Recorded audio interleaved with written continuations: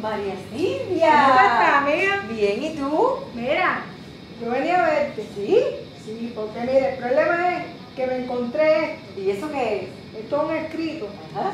que supuestamente me dijeron que era de Juan Padrón.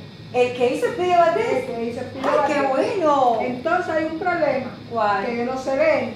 Eso no es problema ninguno. Entonces yo te lo traigo para ver si tú me puedes leer esto. Claro, María. Silvia, siéntate ahí, yo te lo voy a leer. Escucha, María Silvia, todo lo que te voy a leer.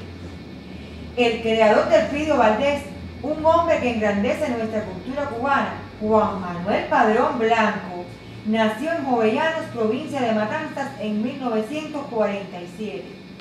Muere a la edad de 73 años, en marzo del presente año 2020, una pérdida muy grande para nuestro país. Fue un genuino autor, creador y en principio caricaturista, animador, actor de voz, realizador de dibujos animados, ilustrador, historietista, director de cine y un gran guionista cubano. Su filmografía de dibujos animados es muy amplia. Oye, pero como hizo cosa él, Escucha esto ahora.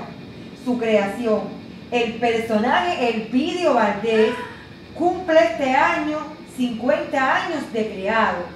¿Viste? yo entonces seguro. Claro, María Silvia, escucha ahora.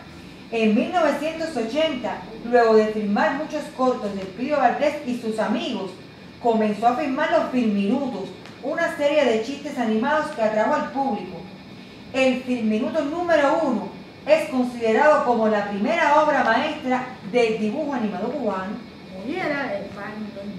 No tengo palabras. No, no, no, ni yo tampoco. Y déjame que te diga esto ahora.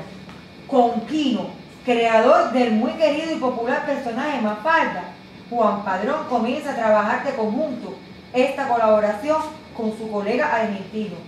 Y de esa unión en la serie Quinoscopios, el prestigio como humorista gráfico de Juan Padrón le permite publicar sus historietas en diversos periódicos, revistas, libros y otras publicaciones de Cuba y de diversos países. Su personaje Pío Valdés recorre el mundo gracias al prestigio de su autor. Es muy amplia su filmografía, que incluye cortometrajes, largometrajes y series cómicas. Mira María Silvia, Dice aquí que Juan Padrón recibió en vida innumerables premios por sus cortometrajes, largometrajes, guiones. ¿Viste? Y entonces, esto no solamente fue en Cuba, sino en diferentes festivales de cine, de televisión del mundo. Interesante. Y por último, aquí hay una frase que representa al personaje Pido Valdés. ¡Hasta la vista, compadre!